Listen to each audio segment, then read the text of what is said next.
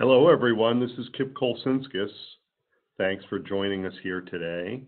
And uh, this webinar, Climate Change Impacts and Adaptation Strategies for Connecticut.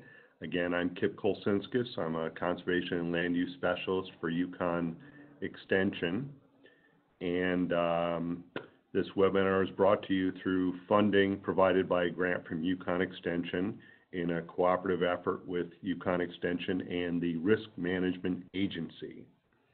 So you're all muted right now, and though we do have a chat function, which I believe you'll find in the uh, upper right-hand corner, so you can certainly ask questions during the presentation, and though because of my limited ability to forward slides and type at the same time, it may not be till the end before um, I'll try to leave some time at the end to be able to answer any questions that you may have. And then there's always um, any that we don't get to answer at that point in time, you know, will I will answer them and send it back to you as a email as well. So let's get started. So some of the goals that I would I would have for produce for you you folks and for producers in Connecticut with a changing climate is to try to increase your understanding of what these climate change impacts are in Connecticut and the Northeast and talk about some adaptation mitigation strategies. Um, look at some adoption of different kinds of farm management practices that can enhance resilience to climate change and provide some relevant information so that when you are talking with your customers and policymakers and elected officials, they understand the challenges that you may have as a producer. Increase your knowledge of federal and state programs and crop insurance tools that can help you with your risk management and with some of the changes you may decide to have with your operation and to increase the amount of planning that you're going to do for climate extremes and emergencies. So not just the the strange variability that you're going to have to deal with, but also those those catastrophic events. And then I think that's something that we can all do is to share our experiences. You know, what's working and what's not. And you know, we're all each other's teachers. So I really want to enhance more dialogue and sharing of uh, you know what the situation is and what you need to help be successful. And what we all want, of course, is a resilient, adaptive, economically successful agriculture in Connecticut. We want you folks to be successful and to make money. So again, we know that the glaciers are melting, sea levels rising. Fortunately, you know that's not we don't have to worry about glaciers as our, our water source like they do in some parts of the world and that we're not like in the Delmarva Peninsula or the coastal areas of North Carolina where they're getting saltwater intrusion that are that are impacting their fields. But we but we will have effects, and we know it's going to have effects all over the world. It's really going to change the food system. It's going to change what areas are going to be suitable for certain kinds of crops. It's affecting our ocean environments, which is where right now a huge amount of the protein comes from to feed the world. Uh, we have temperature increases that are going to change, um, you know, the suitability for cropping some parts of the world.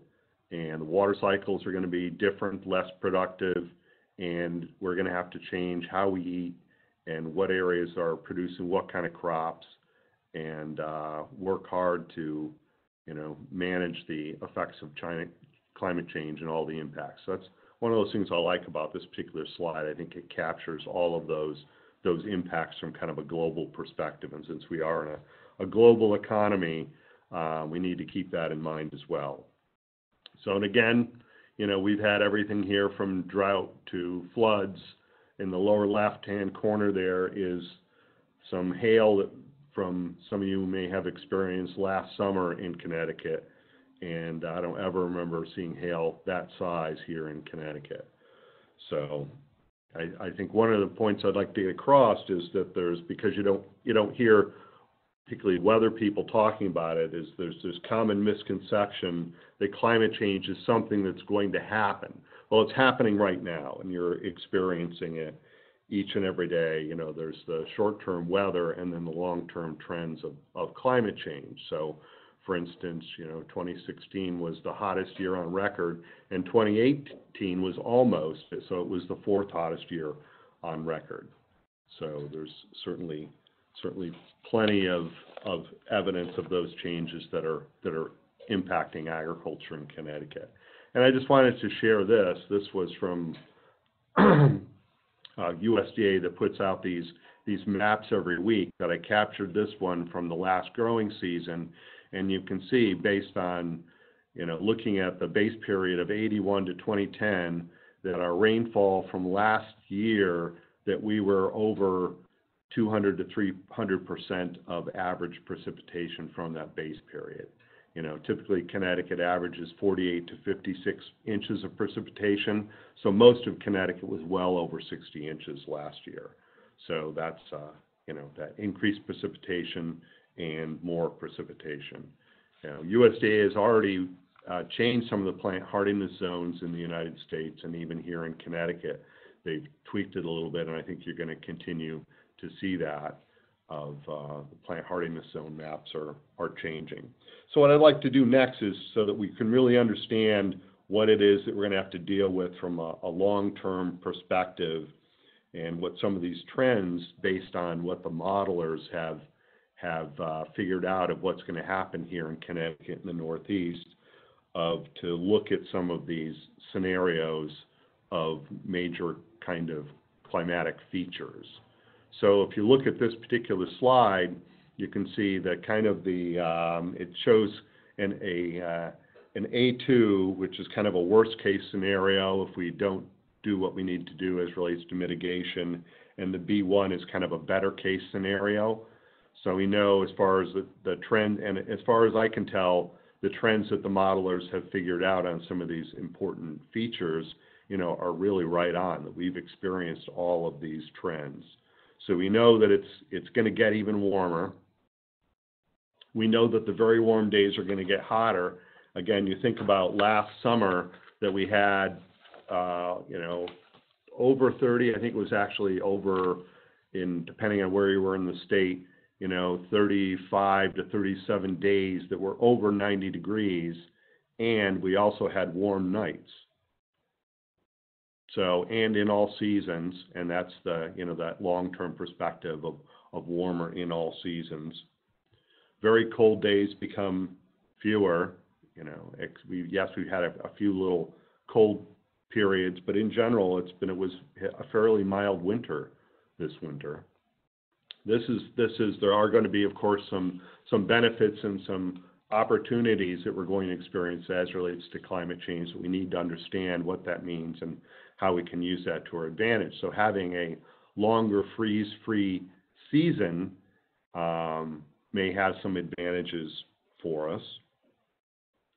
That the days with snow cover have declined, which again, if you're in the in a, a business that relies on snow, that's not that's not great. The other thing, of course, is that we need that snowpack for recharging groundwater, for vernalization of plants, for controlling pests and diseases.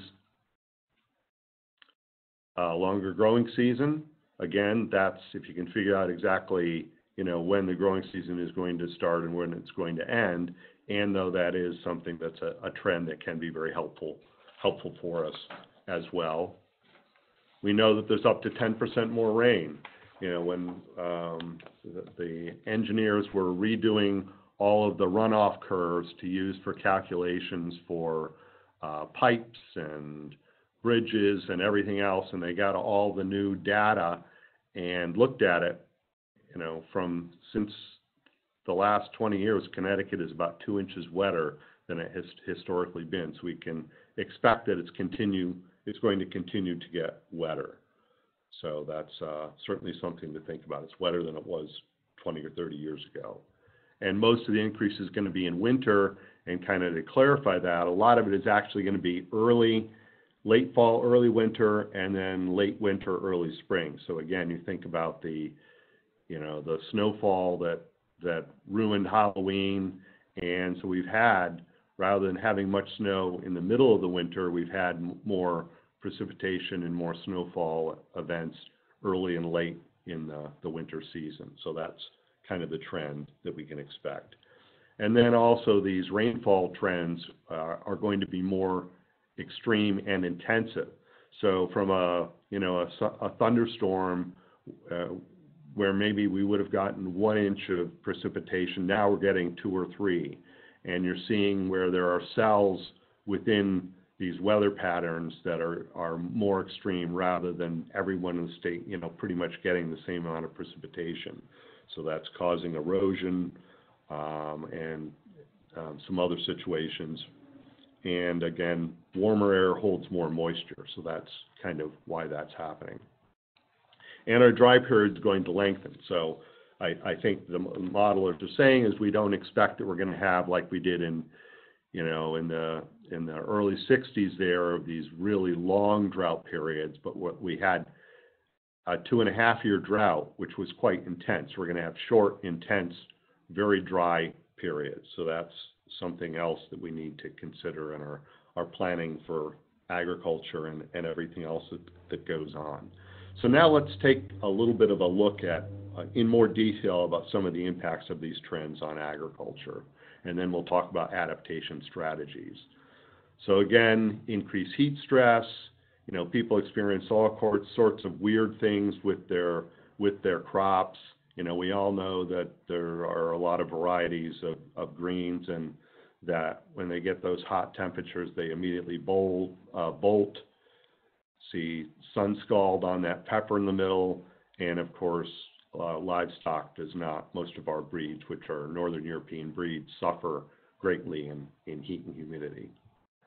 And then also increased wet, weed, pest and disease pressure, very weedy, buggy, mold and mildewy season last year, and the fact that we're going to get insects that are going to be able to winter over here and diseases winter over. And there has been, on the left there is some kudzu. There has been um, kudzu found in Connecticut for the first time.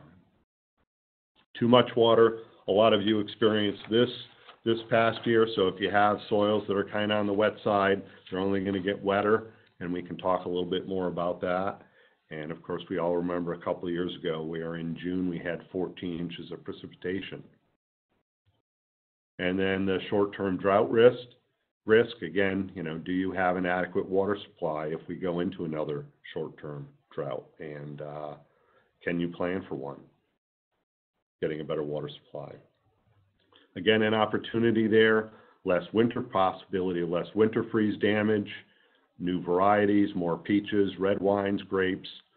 You know, when we had that short-term drought period, we had those warm days, but kind of cool nights, very low humidity. I think some of the wines that, red wines in particular, that were produced during that drought period are some of the best red wines that have been produced in, in Connecticut. And um, so, you know, take a chance on some additional red wine varietals, uh, that might be a, a good risk to, to take. And though, as we all remember, the year without any peaches or stone fruit, uh, where we had uh, plants that were breaking dormancy, and then we had that February freeze of really understanding when when uh, our spring frosts and freezes are going to be and what impact that's going to have on on certain varieties. And to me, that's going to be the biggest challenge that producers have to face is the unpredictability of all of these factors we're talking about. You know, our success as a species for the last 10, 11,000 years has been having a certain amount of predictability to weather and climate, to know when your first and last frost is, when the rains are going to come, when to harvest. Um, so I think that's going to be one of the biggest the biggest challenges that we have. So longer growing season, again, can we take advantage of that? You know, being able to double crop and maybe even triple crop in some parts of the state with the longer growing season. Uh, more melons, peppers. I don't know about bananas there on the right, but uh, I'm certainly all for more, more, more melons and, and peppers. And I know a lot of people had a very good year with uh, uh peppers, particularly hot peppers, last year. I think I had some of the hottest peppers I've had in Connecticut last year which was great for me. And then how does it impact crops? A little more detail. You know, in some of your, your cool season crops, they don't like that. it, it impacts, it can impact yield, it can impact uh, nutritional content, and it can also impact flavor. I mean, you know, I buy my sweet corn the same place every year, and I would say with the the hot weather during the day and the warm nights, I don't think the sweet corn was quite as quite as tasty last year as it as it typically is. Reduced vernalization. McIntosh apples really require some cold winter temperatures to really be productive and have a good yield and good flavor. So maybe we're not going to be able to do uh, McIntosh apples here any longer in Connecticut. Pests overwintering, flea beetles, square-winged Drosophila, um, the lanternfly, those are, and with the globalization, you know, there's new pests that are trying to get here all the time. Again, we talked about the possibility of warmer season crops doing better. Livestock, livestock, and particularly, you know, you think about our, our dairy cattle, which are our, our northern breeds, they really don't do well in hot, humid weather. So it's harder on their bodies, they don't eat as much, they produce less. So that's certainly something to think about as far as, as we manage livestock and animals, is their, is their comfort level and also what breeds that we're using. So kind of in summary, of these climate change impacts of what to expect. And you can see in this example, they've used New Hampshire as, uh, you know, what's going to happen with a, a lower or higher emissions scenario. And worst case scenario is that, um, you know, we could have a weather conditions that are as and a climate that's more similar to the Carolinas than it is to Connecticut. So no need to move south because it's it's coming here.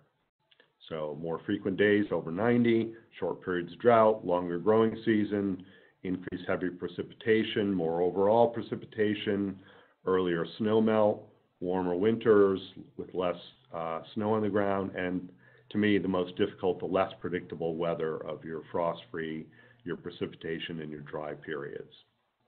So, and though, from a Connecticut, uh, from a Connecticut perspective, Northeast perspective, we're in a much better situation than many parts of the country, many parts of the world. So, uh, you know, the long-term opportunities for agriculture are actually quite positive here. We know we're going to have adequate water. Sometimes we're going to have too much water. Sometimes we're not going to have enough, so we have to plan for that. We're going to have longer and warmer growing seasons. There's going to be shifts in productivity elsewhere, so you know our ability to capture some niche markets and some um, periods of time where some crops might not be available from some parts of the of the country.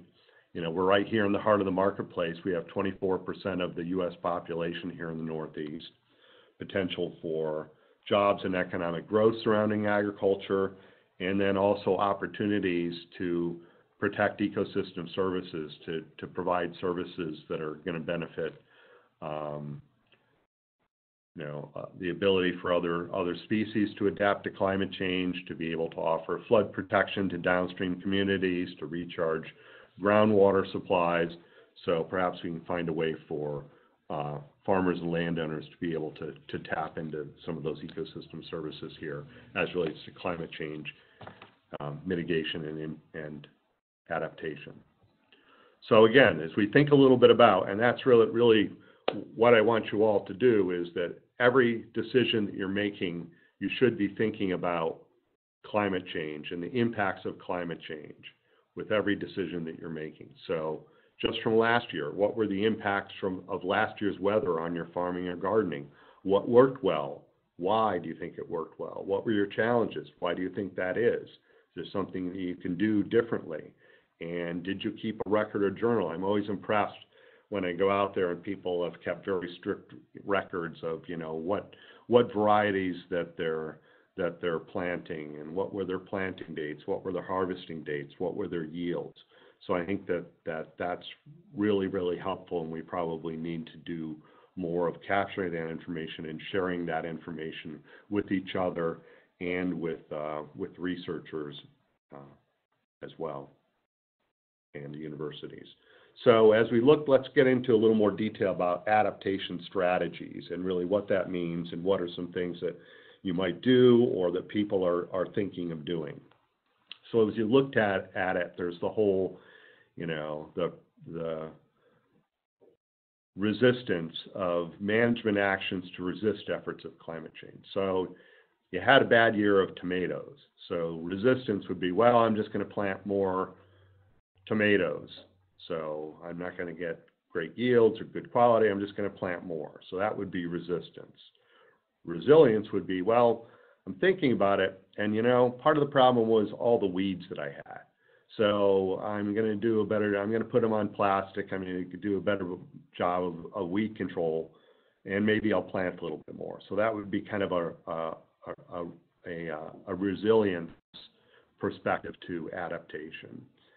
And though I think that that can be helpful, and though I think we're also looking for is for transformation of really adaptive capacity, really transitioning to a new system. So maybe what you're going to say is, hey, I'm not going to do all of my tomatoes out outdoors anymore. I'm going to do all of them, or I'm going to do part of them in a high tunnel where I have better control of the water, of the nutrients.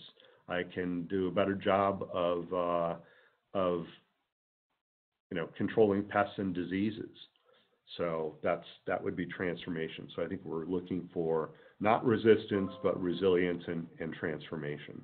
So hopefully that's some of the things you're thinking about, and that we know that um, easier said than done. There are a lot of constraints to farmer adaptation. So we'll take a quick look at that. Physical and ecological limits. You know, in some cases, um, we don't know what the, the capacity is for some of these plant and animal species to adapt, and it just might, might not be possible.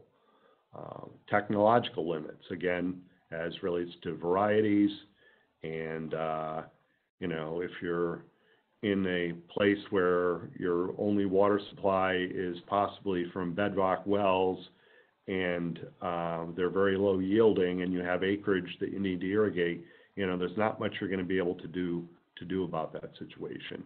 Financial barriers, when you're talking about putting in conservation practices, uh, affording high tunnels and irrigation systems and wells, there are financial barriers. Informational barriers, you may have a lack of local weather information. There may not be enough assistance for being able to identify some of the new diseases and, and insects that are coming after the crops.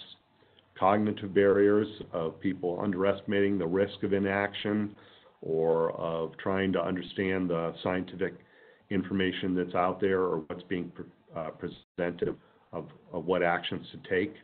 And then social and cultural barriers. And we all know of you know, it might be, be coming from your, your customer base, from, you know, elected officials, from your peer groups in the agriculture community of, of trying to do something, something different and adapting to a different situation.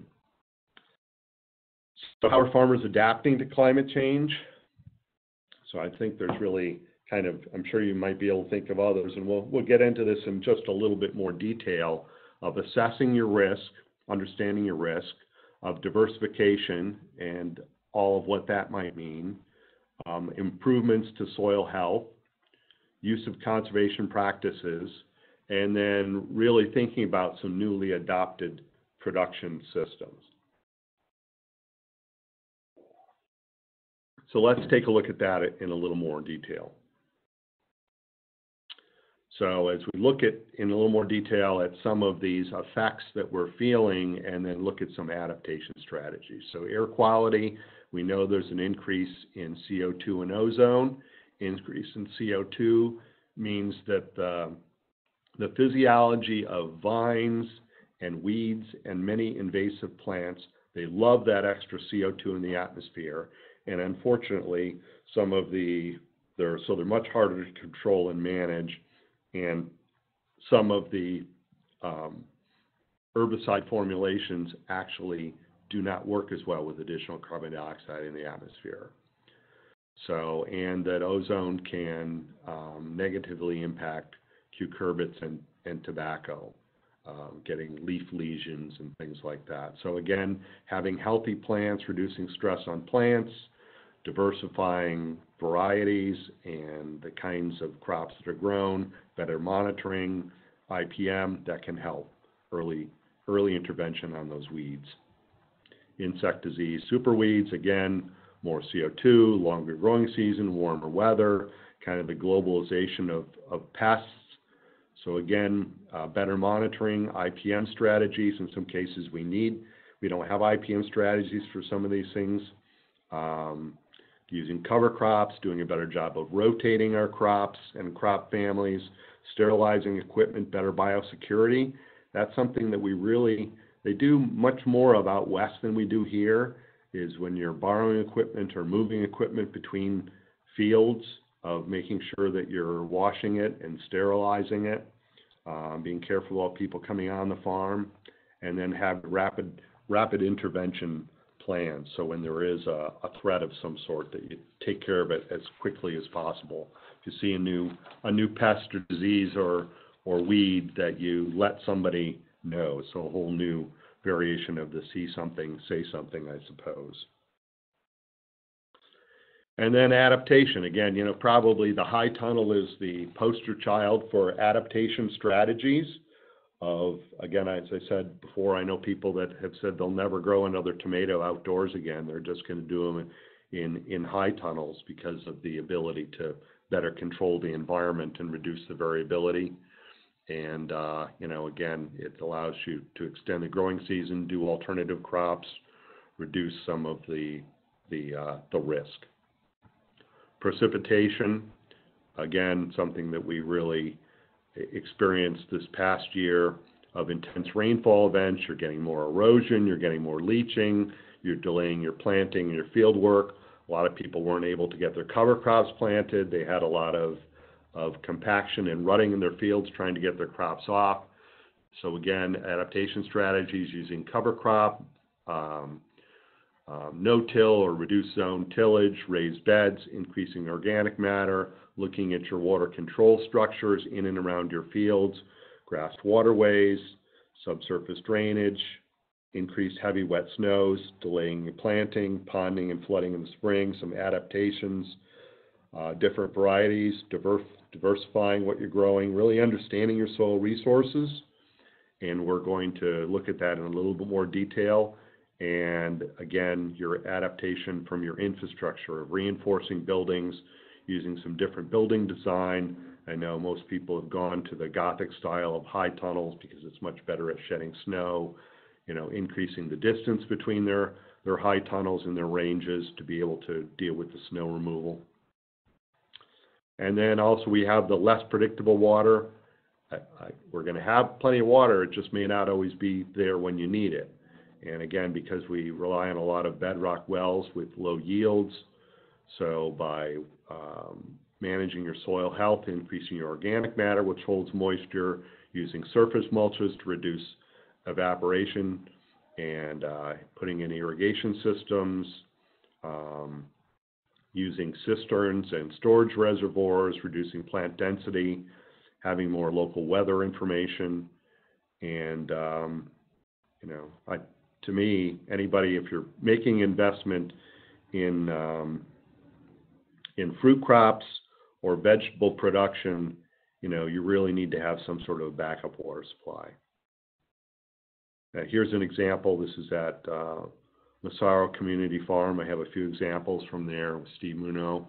And again, he has he has drip tape and he also has some overhead micro irrigation, so you can get some frost protection and um, you know he's got them across the slope, so it's helping to prevent erosion. He's, he's uh, able to manage his fertilizer use better, use less water.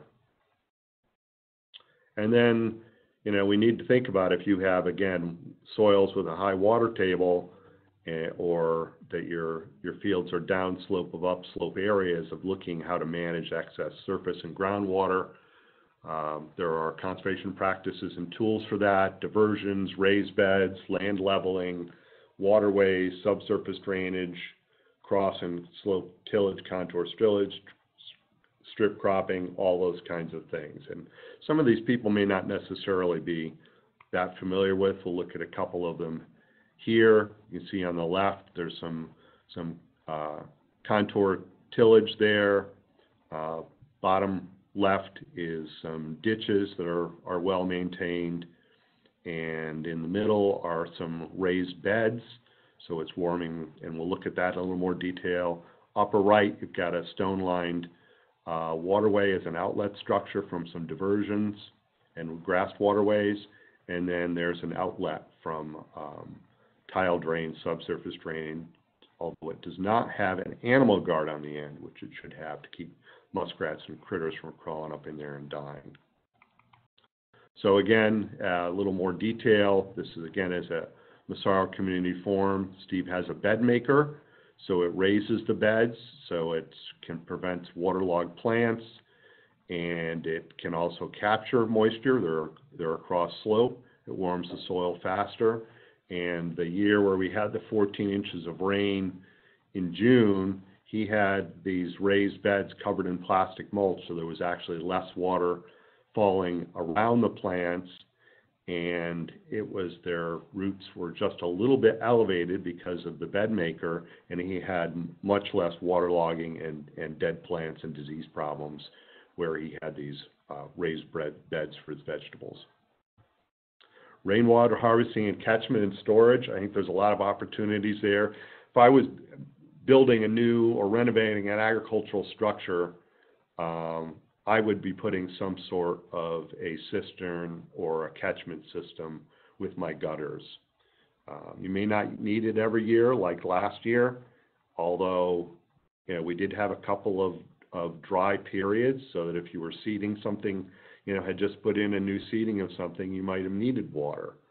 So I think that would be a good investment and the cisterns are, are relatively inexpensive. Extreme precipitation, infrastructure adaptation, so this person has a covered heavy use area and is using wood chips in the heavy use area to try to, you know, keep the animals um, clean and dry and also um, helps with uh, reducing runoff and erosion. I probably would put a cistern there to try to capture some of that roof water as well. And here's an example where somebody's retrofitted their high tunnel with a gutter and a cistern system. And there's actually some kits you can buy now that actually uh, allow you to capture and, and reuse water. I think that's a good investment. Keep your soil covered as much as possible. We've really seen some increased erosion on some of our soils from in the past because of the intense rainfall events. So keep your soil covered as much as possible, protects so your soil aggregates. Our soils, because fine sandy loam is their dominant texture, they don't have really strong soil aggregates, or the little, you know, chunks of soil. They break down under those intense rainfall events. It suppresses weeds, conserves moisture, cools the soil. Hot soil um, is really hard on the the uh, the soil web and all the food web and all the critters that live there, and can actually end up with uh, when you have temperatures that get 90, 100, it really severely impacts the plant. So this is something that I hadn't seen before. This was a new orchard on a slope because of all these extensive freeze-thaw cycles we've had through this winter. And they had, you know, bare cultivation along these these um, new new plantings of fruit trees. And so there was partial frozen ground because of the bare soil. It warmed up, it's dark, and so that soil, the first couple of inches of soil thawed, but the ground was still frozen on the grass strips in between. And we had rain over this partially thawed ground and ended up getting runoff and erosion. And so recommendation is that it needs to get some vegetation there or uh, you know, try to use some, maybe some uh, wood chip mulch. Of course, there's the concern of, of rodents there, but uh, also of possibility of some subsurface drainage as well, because in some cases, because of the high water table, you were getting groundwater that was discharging and causing some of this as well. So temperature patterns, so it's not only impacting your planting and harvesting, and but also those of you that rely on you know, pick your own operations and having the public out there and also just uh, worker and farmer health is looking at um, diversifying your crops. In some cases, you can change your planting dates. In some cases, you can't. You know, as we know, some of those greens, it gets too late and they're just immediately, they're going to bolt. Um, so, and again, with storage, we know there were people that had their their pumpkins and squash ripen early and they didn't have adequate storage to be able to put them in and store them to when people wanted to buy them. Um, not having a firm date on your CSA starting, probably a good idea. Um, higher air soil keep that soil covered, keeps it cool. You know, I, I go to Belltown every year to pick my blueberries, and I noticed the last couple of years that they've had pop-up tents for shade, and they've had big buckets of water bottles for people. And I said, well, that's a really good adaptation strategy because if people aren't going to come out and pick, you know, you're you're in trouble if you have pick your own blueberries. So I thought that was a good adaptation strategy. And for those within the livestock, you know, we're talking about putting, uh, doing uh, silvopasture and of actually designing to have trees and, and shade back in our pastures. And uh, I like, I thought this is a cute picture here with these belted galloways and this shade structure. You could throw in a bale of hay and they would be very happy. They could have a party there. And I've also seen uh, people using some shade cloths, which are relatively inexpensive, in with their pasture raised chickens of having a, a shaded area for the chickens to to get out of the sun in. So of course we know there's some great fabrics out there. Um, there's certainly a cost and management associated with them and time, and though they're fabulous for trying to regulate um, temperature and reduce weeds and be able to manage moisture and humidity. So I think we need to continue to look at those as really important tools and adaptation strategies. And again, my background is a soil scientist, so I'm always thinking about the soil and again, protecting our best soils, those well-drained soils that are nearly level. Those are going to be the most resilient and resistant to the impacts of climate change and have the fewest environmental impacts from farming them. We need to protect our groundwater recharge areas, our wetlands and watercourses to get that in the ground. Uh, people really need to understand the basic properties of the soils on their on their farms and their communities. Try to capture extra water when we have it, and really utilize, understand, utilize the the uh, diversity of soils that you may have on your farm or your property, and think about if you all you have is wet ground, about you know renting or purchasing some different soil resources. So again, just to emphasize this a little bit of how soils impact agriculture, the suitability of different crops, your plantability and farmability, the moisture holding capacity, rooting depth, the fertility, the soil temperature, all these things are, are that are important to you are impacted by the soil. So the hydrologic cycle, which again, we're talking a lot about soil water management. Soils are an integral part of infiltration of getting water into the soil, percolation, which is water flowing down through the soil profile, being able to recharge the, the bedrock and the sand and gravel aquifers, um, being able to, you know, have water get out onto our floodplains, and for wetlands to be able to store water and release it slowly. So again, it's all about the soil.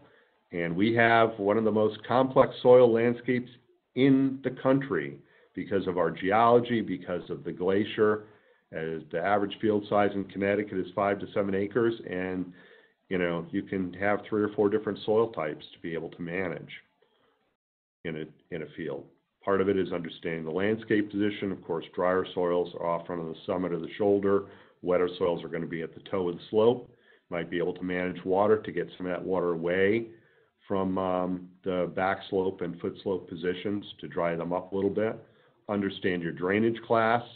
On the left there is depth of inches from the surface. And well-drained soils means that the water table is, you know, really not impacting the root zone. It's typically below 30, 36 inches during most of the growing season and then um, I've seen our moderately well-drained soils, those water tables are staying up there longer and higher, 18 to 24 inches from the surface. And then if you have dominantly somewhat poorly drained to very poorly drained soils that you're trying to farm, they're only going to get wetter. Yes, they can be productive in a dry year, but um, in a wet year, you're, you're in trouble. So again, if you think about, here's a Manchester soil formed in sand and gravel In a dry year, you're gonna need an irrigation source, we're in a short-term drought. And in a, in a wet year, they're gonna be fabulous soils. And then probably the dominant soil in the state is glacial till, and those glacial tills that have dense till at about two and a half to three feet, which is packed and low permeability and perches water table, those in a wet year are very difficult to, to manage. So you need to think about subsurface drainage, of uh, diversions to be able to move water away from parts of the, of, of the uh, field. How to find out about your soils. The Web Soil Survey is a fabulous tool. We have soil maps. You can uh, identify your fields, identify, it shows you, create a map that shows the different soils, gives you information about it. Areas of Ridgebury soils are poorly drained with a seasonal high water table, less than six inches from the surface.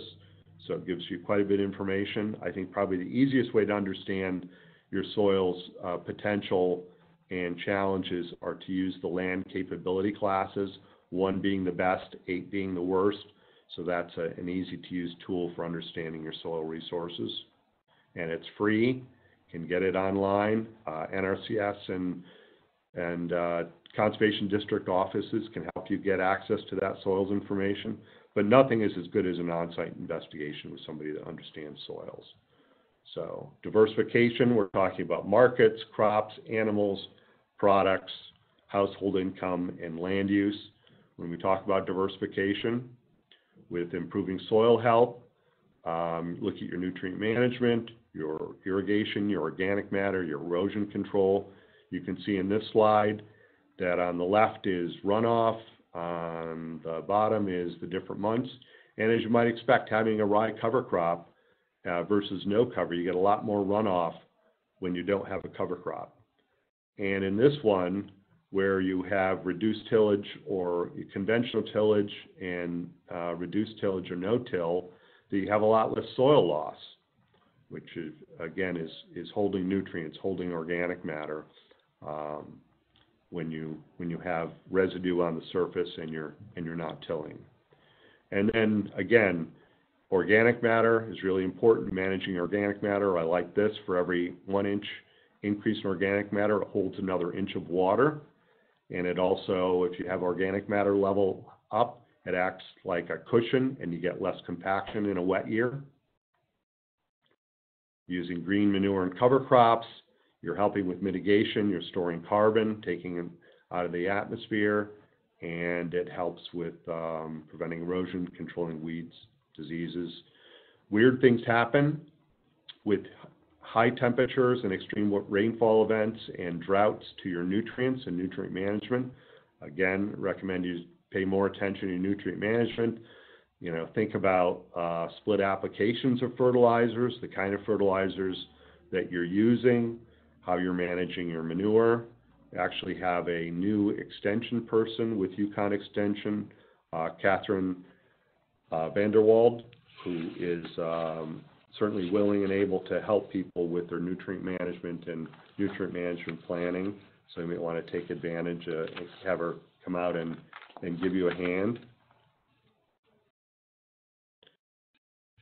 Saw a lot of a lot of uh, leaching of nutrients, particularly nitrogen, this past year. Again, new production systems. Talked about high tunnels, uh, looking at your varieties and your breeds, low pre-harvest investment crops. I thought was an interesting strategy of some things that, you know, particularly for vegetable producers. Obviously, you're making your money on your tomatoes and uh, peppers and eggplant, but um, you know, doing an early thinking maybe there'll be a, an earlier growing season of taking a chance and growing some greens or some radishes. Um, seeds, some of those seeds are pretty cheap to be able to, to, in case that there's trouble later with some of your crops. And new initiatives. I think there's some great information that's out there, particularly with the Cornell Institute and uh, uh, the Climate Smart Center that they have there, the USDA Climate Hubs. Change hubs have some really good information and adaptation strategies. So the climate smart farming, there's a bunch of decision tools that you can get access to, and it's not just for New York, it's for all of New England. I use this with, um, they have a tool for, you can put in different kinds of, of plants to use for cover crops and when you might plant them and, um, whether or not they're, they're, uh, how, what your success rate is gonna be. It's called the Cover Crop Planting Scheduler. You can access Connecticut weather station information. I think we probably need to have more weather station information because of our variability uh, and complexity of climate here. So this is some stuff they had pulled up from South Glastonbury. Air temperature, soil temperature, wind speed, average soil tension. So there's some really good information that you need to tap into there. And then think about what happened this past year, you know, and what happened in, in 2016 of the crop loss crop losses and impacts on agriculture. Um, again, I know that there was a lot of erosion, compaction, people had trouble getting their crops off, getting their cover crops planted this past year, uh, parts of fields flooding out, never, and never being able to get it planted. So assess your risk. You know, we've talked a little bit about that. Understand your soils, um, your infrastructure, look at your management, look at your crop insurance that you have, and what will you change or try this year? What do you need? So I was talking with a hay farmer, and I said, you know, so after last year, what it, what what do you think you might do differently? He said, well, I know that they have a very small window in which to harvest hay, and I was thinking about getting some new equipment. So I'm actually going to get some larger equipment so I can harvest um, when I do have that window, harvest the stuff faster. So I thought that would seem like a, a good a good strategy for him. Emergency preparedness, that's for the big storms, big big events. Farm Bureau has some Connecticut Farm Bureau has some awesome information up there. So if you go to their website, look under the resources. Um, there's a good guide at Penn State for help you with disaster preparedness to be able to have a uh, post some emergency contact information work with your local responders so they know about your operation, know who has resources that can be used or shared. I think that's a good strategy. And then, you know, your farm level adjustments for adaptation and transformation. So of, uh, you know, looking at what varieties you're growing.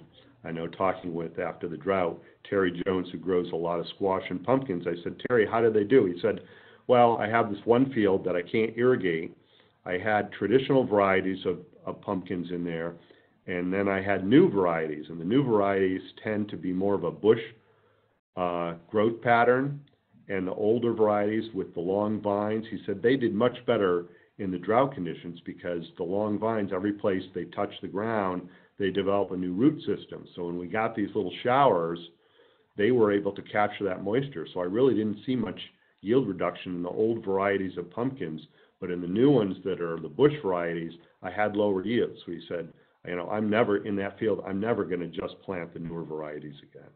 So I thought that was a good, a good uh, adjustment that he was making there. And then I think that there's a lot of lot that we need to do as relates to government agencies, NGOs, and universities of new decision tools. Um, you know, we need to figure out how to manage some of these pests and diseases have better crop insurance, provide financial assistance for adaptation, and really pay attention to our land use and climate change policies. And that also of, of having secure land tenure, particularly for beginning farmers. We, we have a, a significant part of our, our farmers that rent or lease a portion or all of their land. So to be able to make these investments, you need to have more secure land tenure. Some good resources out there. Again, I recommend uh, visiting the Northeast Climate Hub the Northeast Regional Climate Center Cornell. There's some uh, grants through Connecticut Department of Agriculture. The transition grant can help you with some of the stuff. The restoration program does wells, irrigation systems. NRCS has the EQIP program. There's disaster insurance from Farm Service Agency, energy programs, which can help with the mitigation with rural development. UConn Extension has specialists. I mentioned, Catherine can, can help you prepare a nutrient management plan. Connecticut Experiment Station, crop insurance providers, and again, we want you to reduce your, your risk. Farming organizations like Connecticut Farm Bureau, CT NOFA, um, RC&D, the energy, and of course your peers to share information. So again, you know, regardless of how you might feel about climate change and its human influence, wouldn't it just be terrible if we created a better world for, for nothing? So, any questions, feel free to give me a call or email me, and I think we've got a few minutes for questions, if anybody has any. So thanks you for your attention, and thank you to uh, Mary Conkling and Joe Bonelli and Mackenzie uh, White for helping us with, put together this risk management and UConn Extension webinar, which will be posted, uh, the recording will be posted afterwards and the PowerPoint presentation. So thanks for your attention and for joining me today.